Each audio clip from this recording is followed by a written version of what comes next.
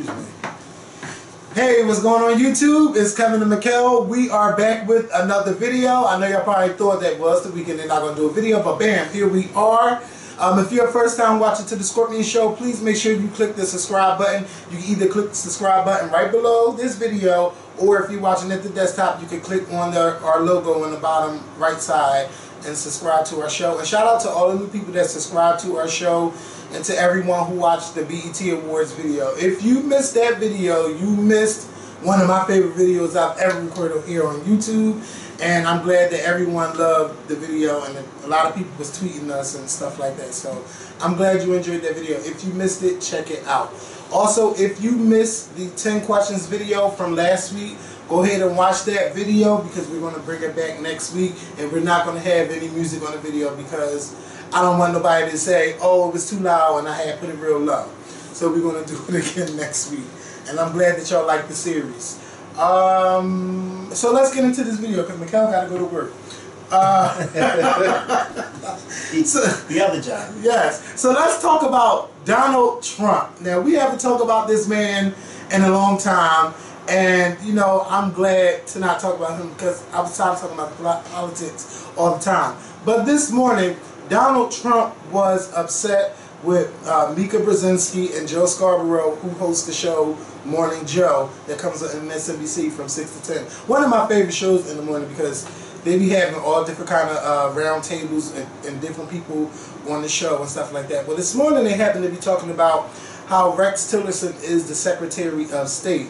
And he is not allowed to hire the people who he wants to hire because Donald Trump won't let him hire the people that he wants to hire. And that he really wants his uh, son-in-law, Jared Kushner, to be the like the deputy deputy secretary of state, and he really wants his son-in-law to be going to different countries and making deals and stuff like that. And Joe and Mika was just talking about how terrible that was. And as a president, like you just hiring people with no experience to do stuff. Well, I mean, hello. Yeah. He and was I, hired with no experience. Yeah, yes, that's true. And I mean, they were going in, they were going in on that and the fact that he had the fake Time magazine all over his different Mar-a-Lagos. I mean, Mar-a-Lago and then his other estates that he owns, um, golf properties. So Donald Trump woke up, I mean, Donald Trump, he be watching the morning shows. He be flipping, he don't just watch Fox and Friends he happened to uh, tweet them. Can you read the tweet? Yes. So he tweeted, uh, I heard poorly rated Morning Joe speaks badly of me. Don't watch anymore. Then how come low IQ crazy Mika along with Psycho Joe came to Mar-a-Lago three nights in a row around New Year's Eve and insisted on joining me. She was bleeding badly from a facelift. I said no. So a lot of people were up in arms about Donald Trump's tweet. He is the president of the United States. They're going to be archiving his tweets as the president. Why are you tweeting things like this? Yeah. Why are you tweeting things like that on Twitter? And why are you always talking about a woman's appearance? Now, y'all saying, well, why? If they go in on Donald Trump, why would they be at his Mar-a-Lago estate? Well, Joe Scarborough is a Republican and Mika is a Democrat, and Joe and Mika are actually engaged now.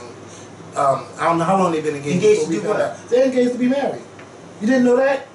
I don't watch them. Yeah, they are engaged to be married, but they don't talk about it. But I just feel like that is a conflict of interest. Yeah, oh, it's been a conflict of interest. I mean, they're sitting right next to each other every morning. Yes. And they got like a love-hate relationship, but somehow it works, I guess. And he, oh. He left his wife, she left her husband, and... And her father just passed, too. Yeah. And a lot of people were upset. And Donald Trump, because he's always talking about the appearance of a woman, he's always just going in on what they look like, if they had plastic surgery and stuff like that. And a couple days ago, they were talking about how he stopped his phone conference to tell a, a, a reporter how beautiful she looked. And people were over that. But I mean, it's Donald Trump. This is what they yeah. elected. yeah. And Donald Trump, man, this is our president and no, it's horrible. Is, this is the country. Well, this is, I can't even claim him. Yeah, we can't claim him, but it is what it is. It is. It, he just he just look he just makes us look bad. I would hate to go to another country and they say where are you from and I say America and just the look instead that they would give you or the com- how they try to have that conversation about you about the president of your country. It, it would just be ridiculous. And a lot of Republicans, except for Paul Ryan, um, condemned Donald Trump for his tweets. Even Melania Trump defended her husband. and today, Well, I mean, that's yeah, Of course, she's but- going to defend us. Yeah, and today I was watching the uh, press conference, and I don't know. I think that what you call um, Spicer about to lose his job to Sarah Huckabee Sanders, and all she kept saying was he was fighting fire with fire. If you say if you attack him, he's going to press back. He didn't attack Donald Trump's appearance. He is attacking Donald Trump. They attacked him for his job. Now, how you go about somebody's looks and their IQ? Let's talk about your IQ. Let's talk about your mental state. Let's talk about that, Donald Trump. Clearly, you are not Yeah. physically able to do your job as president. You're not. There's nothing presidential about you. You just hold the title of being the president. And I mean, it shouldn't shock us that this stuff is going on, but he just makes us look bad as a country. And me, He makes himself yeah. But as a country, though, No, we don't look Ah. bad. He looks bad. Yeah. As a country, we need to be banded together trying to figure out It's- it's- how we're going to get him out of there in 2020.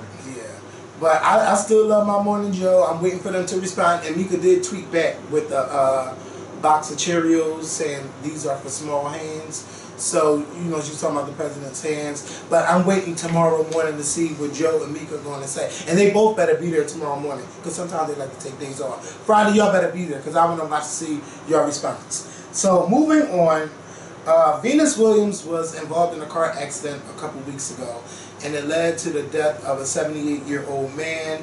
And today we are finding out that the man passed away from his injuries. Um, and now they're saying that allegedly Venus Williams is at fault for the death of this driver. And what happened was um, Venus Williams was going to make a turn, and her car got stuck in the lane where you know when you're turning, when you're making. I don't know if she was making a left turn or a right turn, but they were saying it was Ill, it was illegal to block wherever she was, and the car t-boned her car. So the driver, who was the man's wife, she was injured, and he died of his injuries. And uh, the cops were saying that Venus Williams, she didn't have any. Uh, Alcohol. no alcohol, no phone, or you know any of that was at play. It was, It was just, just a, it's just a bad accident. So our condolences to the family and to Venus Williams. And you know I don't know how she's going to take this, like because I know how people treated Brandy for what happened, and I would just hate to see that happen to Venus Williams. Uh, stuff, accidents happen.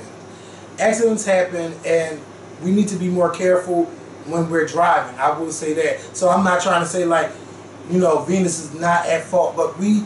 I'm not a driver, but when you drive, you have to be very careful of the road. So leave the Twitters and Instagrams. Leave that for when you're out of the car or when your car is parked. Not even at a red light should you be on your phone. You need to be paying attention to the road. I don't know exactly what happened, but I just wanted to bring that story to y'all.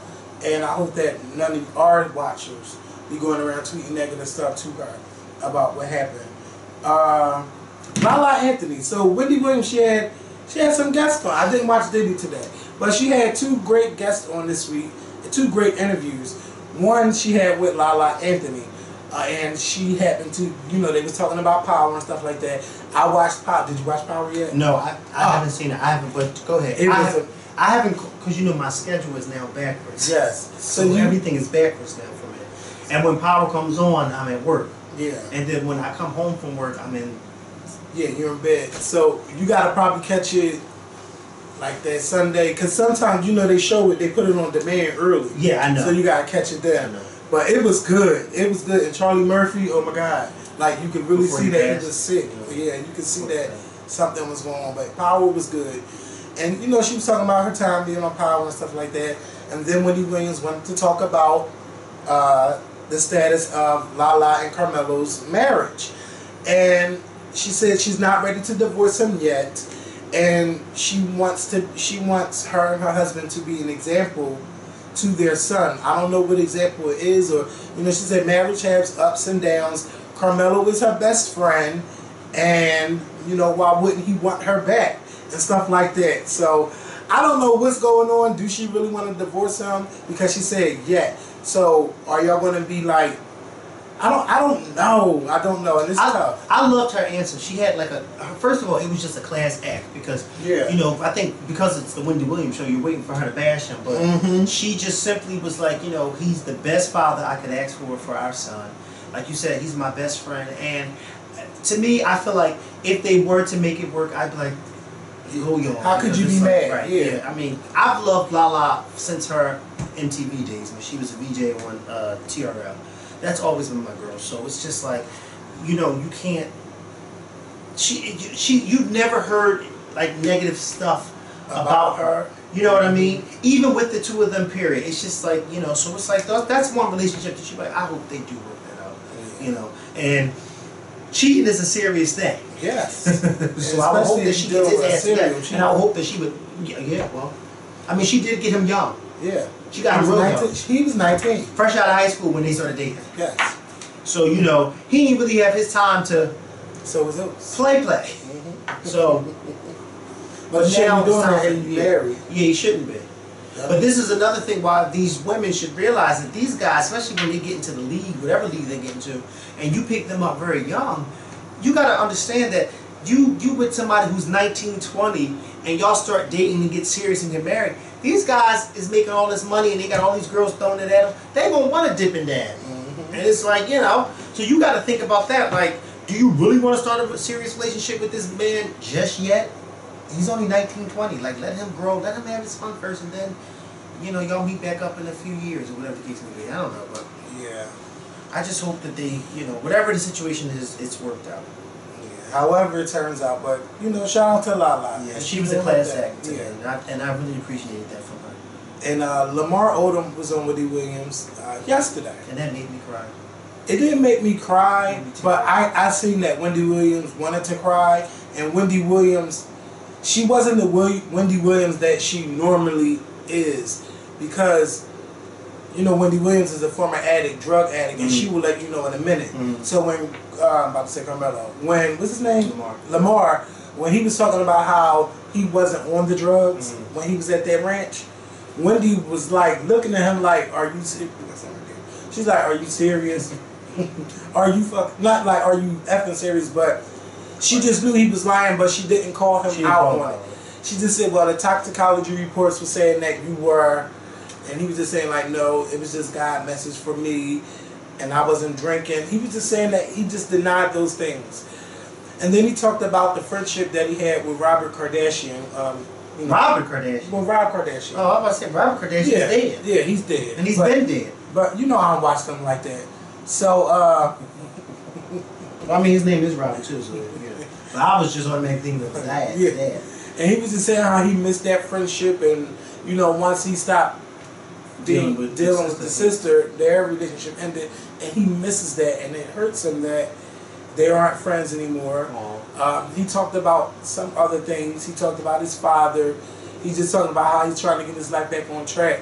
But the way he was talking, he's still unsure of what he wants to do with, I guess, with coaching or being a part of a basketball team in that kind of way. Mhm. He seems unsure about that, but he knows that he wants to be clean and he wants to become a better person. Like he was very soft spoken. He he was just being Lamar on the show, but he's still not ready to take accountability for the things that he Right. has done in the past. And that is something that Wendy normally calls people out on. I didn't watch her show today, so I don't know like what her follow up was to that. But she really wants the best for Lamar, and she doesn't want to see him, you know, go Mhm. back to what what what he was doing. And and and a lot of times people are not successful. Oh my God! A lot of people are not successful when they have, you know, when they're trying to get therapy and rehab for being on drugs. A lot of them relapse. So Wendy could understand that thing, and she just was. She broke down crying. She gave him a gift of a basketball with different um, words on it, and she, broke down crying. She gave him a hug, and normally they cut to commercial, but you can see her talking to him as the, you know, they fade to black to go to commercial. But I really haven't heard any like anything bad about uh, Lamar as in now. He's really trying to get his life together, and I hope that he succeeds in that. He also talked about being a man, um, being a man married to a Kardashian, because Wendy was saying like how the men always seem to be crazy or something is just not right, and she's like, well, you know what's going on? He's like, well, men and women are different, and that that was that's what he his response to Wendy's question about why do the men all seem like something is going on and the women seem fine. I don't know what the Kardashians are doing. He didn't bash them. He didn't talk bad about Khloe. He did say that he was hurt when Khloe lied about being pregnant or um, trying to get pregnant. He was upset about that, but he said, well, So what? She wasn't trying to get pregnant. um, no. And he said that at that time, it was the best thing. Even though he was upset, it was the best thing because he was really out of it. He was saying how Khloe was the only one that knew that he was doing what he was doing. I'm not sure if she never told her sisters that, but yeah, it was a really good interview. If y'all missed those interviews, y'all definitely got to check them out. I would say watch them because they were good and you know, yeah, it was it was just, it was good. I'm, I'm happy for both of them. I'm, I'm hope I hope that Lala and Carmelo can work it out. If they can't, they're just gonna have to find the best way to tell their tell it to their son. And with Lamar, I just don't want to see nobody on drugs. And right now, we see that on TV. There's this big opioid abuse um, thing going on with a lot of people dying from synthetic. What's the word? I, do you know that word I'm thinking of? Synthetic fentanyl, where it's like they say it's like a thousand times the rate of cocaine, and it's it just make people black out. And no matter how many times you try to use the Narcan to revive the people, it kills them. And it's a very, it's just very high, high death rates. People are dying at a faster rate than what it was, you know, from years ago, like in the '90s and stuff like that. And it's become, we, I'm seeing it more on television about it. So I just hope that Lamar gets it together. We, our country really has to get it together. That's all What I'm I- saying. Go ahead. I'm sorry. Because you said a whole lot. I know. I know. And I was trying to get it. I was- um, what I was going to say was with the whole situation with Wendy, I was happy that she didn't go in on him like she usually does people because I think that it's still kind of early with him, and I think that she saw something in him like he he's at a vulnerable state right now, and I'm kind of happy that she took the route that she did, and she played it real safe with him, and she you know.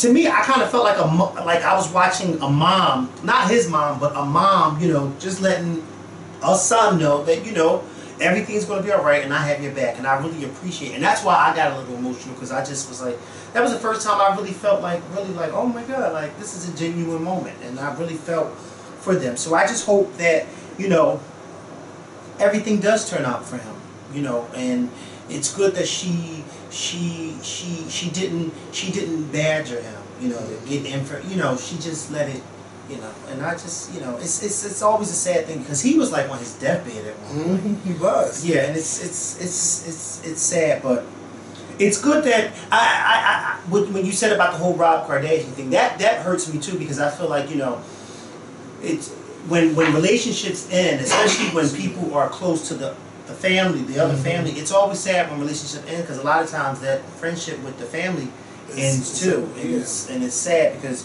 you know he. I guess him and Rob genuinely had a really good friendship, and for that to be over, but I guess Rob is one of those people that listen, you know, you ain't messing with my sister no more, so I ain't got no ties with you no more. That could be Rob's whole thing, you know what I mean? Like, Yeah, but hopefully they can they can work it out. Yeah. If he sees that, I hope it touches him and right. makes him want to reach out Right. to um, Lamar. Because they didn't they have like a show at one point, or they was They were living show? together or something like that, but it was crazy. I remember. I remember. It was real, real weird. Yeah, It was a weird situation with them. yeah. Um, and speaking of the Kardashians, a lot of people are going in on the Kardashians today. Kylie and Kylie, I believe it's Kylie and Kendall. They have a um, a T-shirt line that they're selling, and the picture that I seen was it was a picture of I don't know which one it was, but it was one of the Jenner girls It's uh Kendall. between a picture of Well, this Tupac is- and Biggie. Well, I'm looking. Yeah, this is Kendall right here. Yeah, this is Kendall, hmm and I don't know. I don't see any pictures of Kylie. I just see Kendall. Or maybe it's just Kendall. But they have a T-shirt store Yeah. And they're selling and they're selling shirts online. And I heard it was 20 $125 a shirt. I hope that's not true. Lies.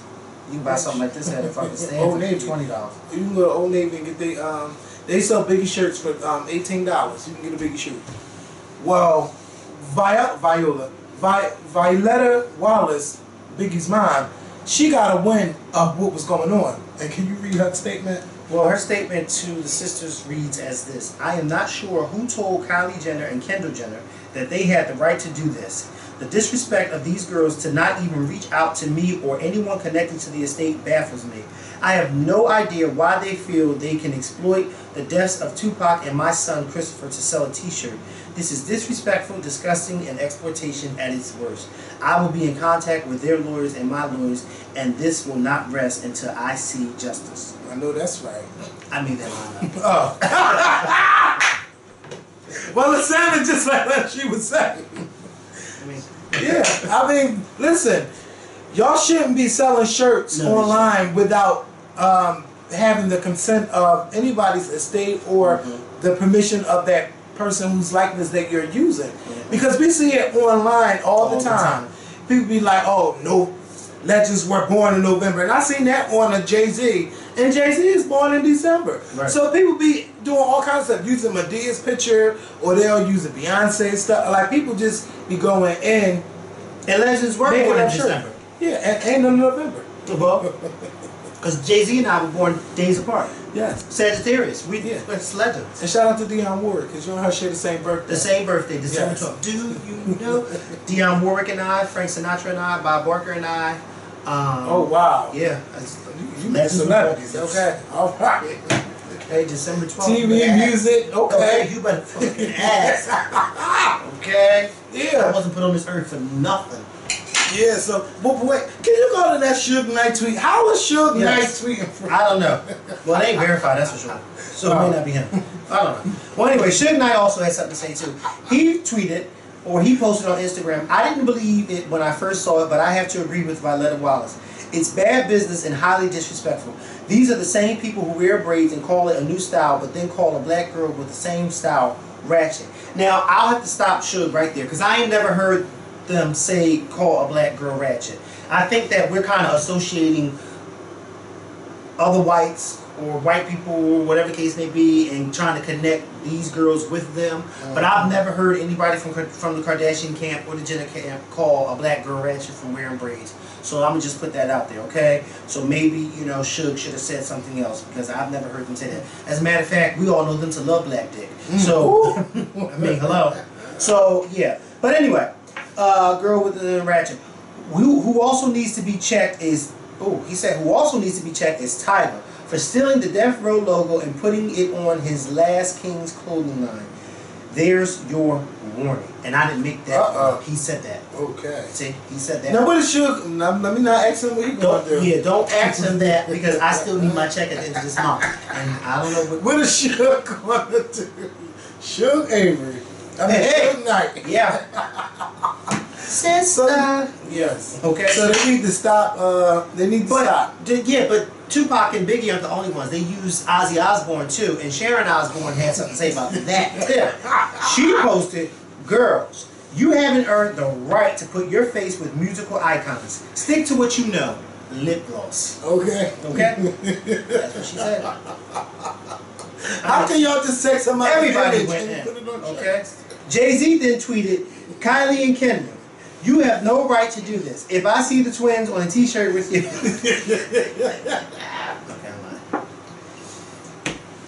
you know they're gonna be looking for play dates. The uh, Kim and them. And since Jay Z and them is out there in L.A. Oh Lord, can you imagine? The press is gonna be at that house.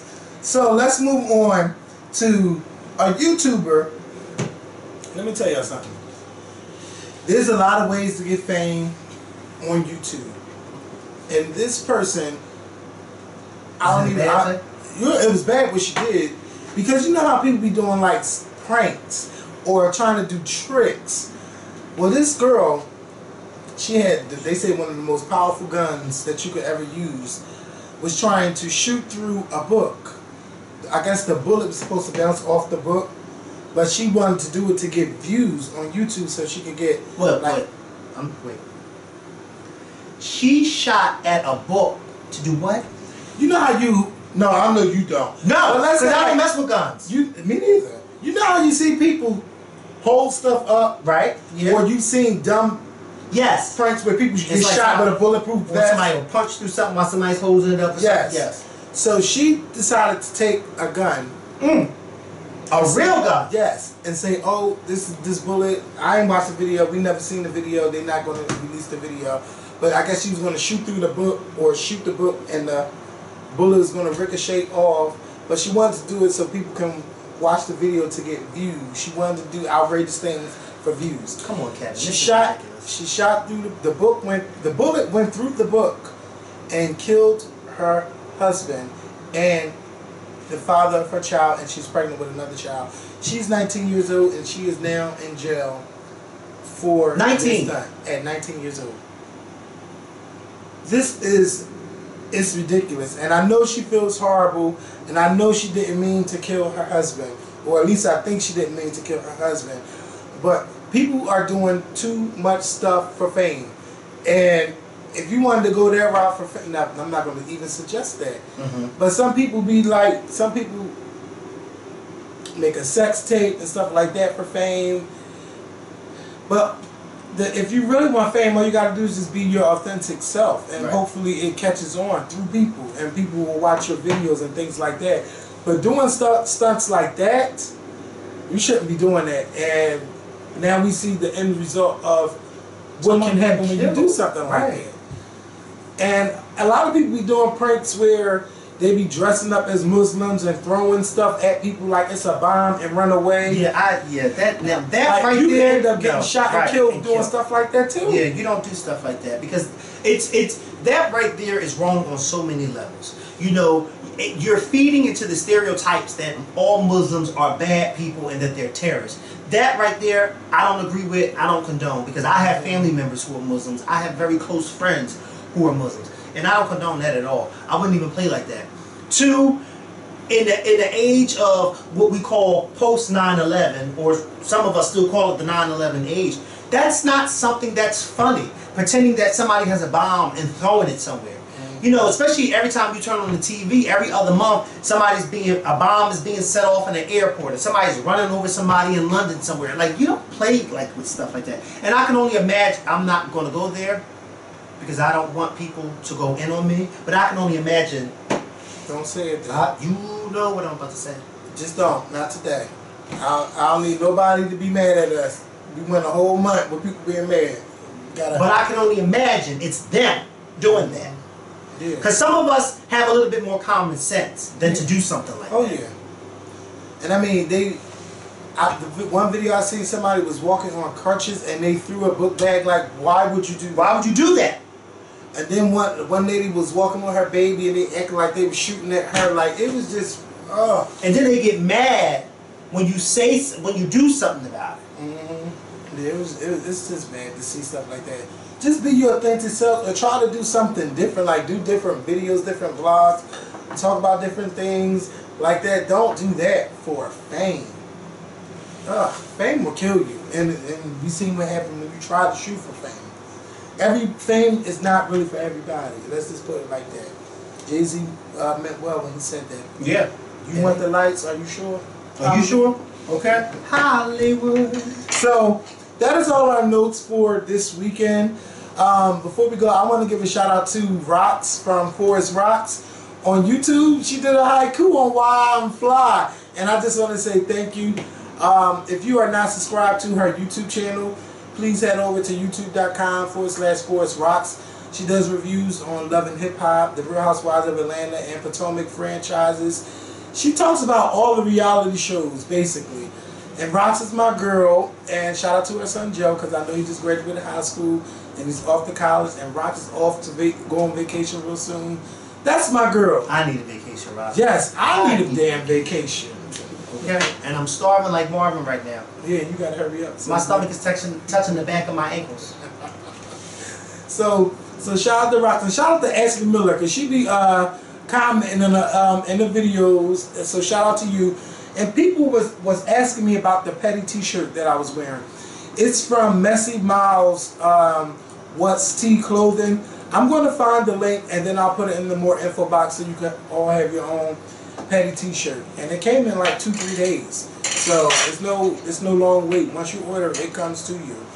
So um, And yeah. we have t-shirts that are coming Yeah. really soon. Yeah, too. we, we're working new, on some new shirts. revamped New new shirts. New yeah. shirts, okay? All them old shirts are going to be gone. Okay? What the Bible say? Thing of the past, gotta stay in the fucking past. No, they don't really say it like that. But yes, let stay in the past. So you you guys enjoy the first um, July. Saturday is the first of July, so you guys enjoy the weekend. Um, Tuesday is the Fourth of July. I don't, I don't, you guys, are, ain't you going on a family trip or something like that? Mm-hmm. So we'll probably see y'all next Thursday or something like that. Yes. Yeah, we'll see y'all next week. And y'all be good though. Y'all be good. If something happens, I'll be back. Peace.